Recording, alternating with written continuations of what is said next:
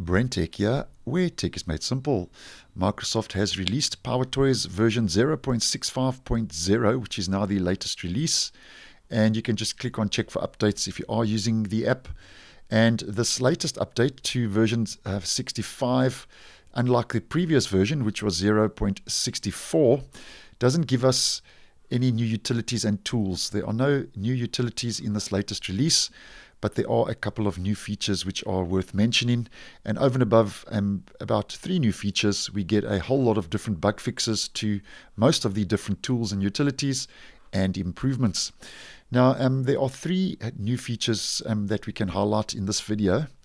And the first is that um, they have included custom formats support in the color picker. So if we head over to the color picker tool, which is a quick and simple system-wide color picker, and we scroll down here, you'll see under color formats, add custom color format. Now you can add your own custom color format.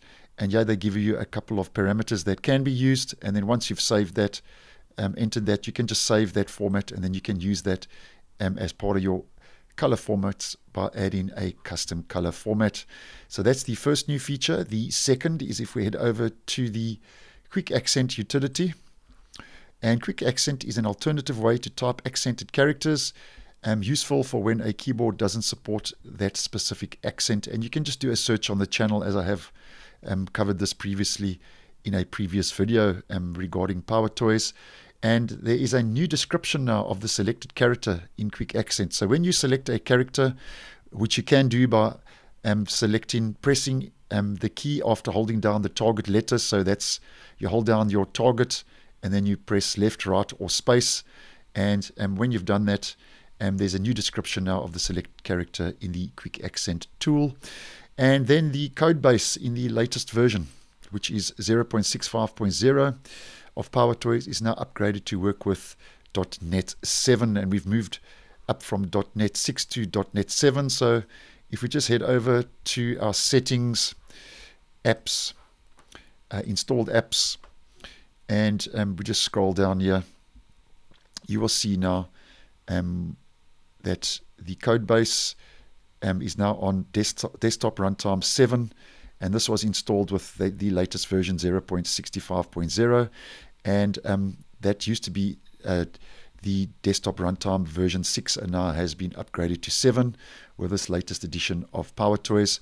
And as mentioned, there are numerous fixes that have rolled out and improvements, too many to mention in this video. But if you want a little bit more info, you can just click on Welcome to PowerToys. And if you go to the bottom, in the bottom left of the Welcome menu, click on What's New. Um, yeah, you will get all the different highlights, known issues, general, and all the different fixes that have rolled out to PowerToys, as mentioned, too many to mention in this video.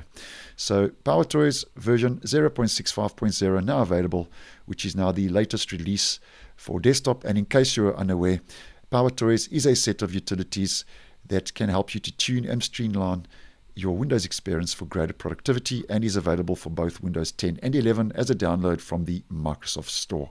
So thanks for watching and I will see you in the next one.